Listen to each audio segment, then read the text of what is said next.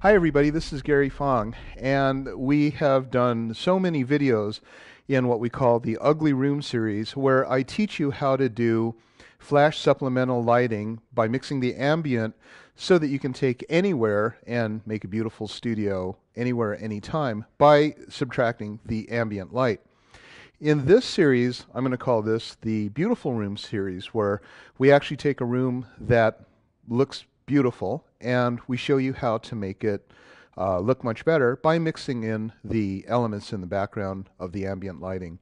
What I'm going to do here when we're shooting indoors is we want to have a lot of the tungsten lighting uh, effects, like for example lamps on shades and things like that, or chandeliers, or anything that's uh, tungsten, because it's going to be very, very warm lighting. Then what we want to do is we want to mix in, in a very subtle way, the lighting effects that are used with flash.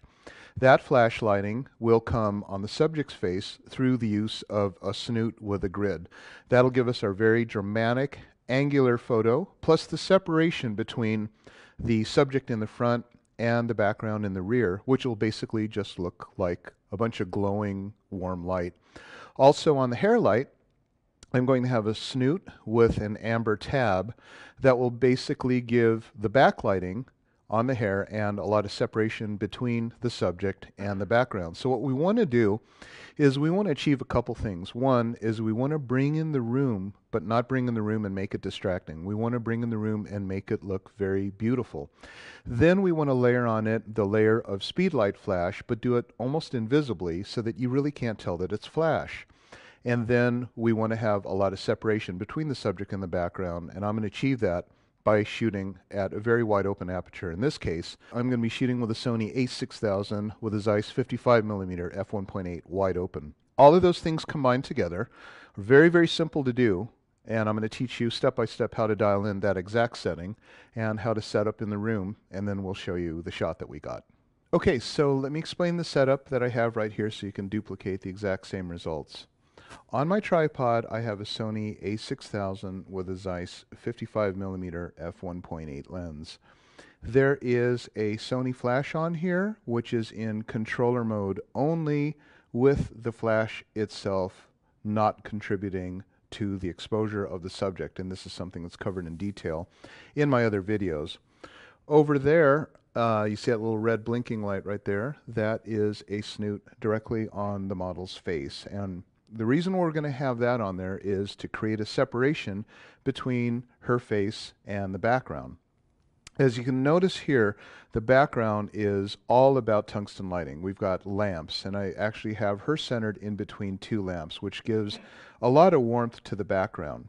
Then I have right behind her, you can see a, a dome with an amber tab inside. And what that's going to do is that's going to dramatically light the hair. So the trick is now is to try to do our shot uh, with flash, but make it not look like flash. Now I'm going to show you an image taken with available light. So I'm just going to go ahead and turn the um, flash off. So this is regular non-flash and uh, available light, okay? Still nice lighting. I have some really nice wrap around lighting, but it's a little bit bland. So we want to just really jazz this up a bit. So I'm going to take my camera and I'm going to put it, take it off of auto ISO because what we want to do is we want to be able to control how much light the back, background contributes. Then we're going to put the camera into manual mode. And the manual mode gives you the ability to control what the uh, background sees. Okay, so now we're going to mix the background.